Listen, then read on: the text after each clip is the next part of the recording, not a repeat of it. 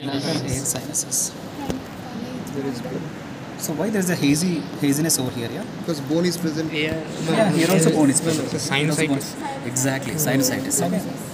Sinusitis. Okay. Because of the edema, it appears. For example, if you compare with the ethmoidal air sinuses with the frontal air mm. sinuses, it is more darker because no abnormalities there over here, mm. and the frontal sinuses have become a little bit of edematous. So that's why it appears like hazy. Okay. Mm. And even uh, maxillary air sinuses also Mm-hmm. almost similar with the Yes. ethmoidal air sinuses, mm-hmm. right? So probably it is the diagnosis is frontal sinusitis. Frontal Sinusitis. sinusitis. Okay. So okay, fine. So these are the ethmoidal air sinuses. Okay. Mm-hmm. Ethmoidal, And these two are Orbits. Okay. And these are Maxillary. maxillary maxillary. It's also a bit hazy. Might be maxillary sinusitis also. Okay. And what are these? here? probably. The parotid gland. Yeah, exactly. Parotid glands. Obviously, this is the mandible. That's all. Nothing is there. Okay. So parotid gland impression. Right?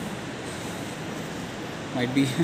it is uh, the walls might be a bit thickened, something like that. Nothing much.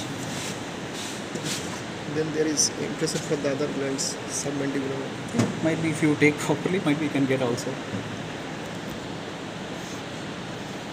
Because soft tissues like uh, the skin can be seen, right? In the same manner, why not parotid parotid gland? इसलिए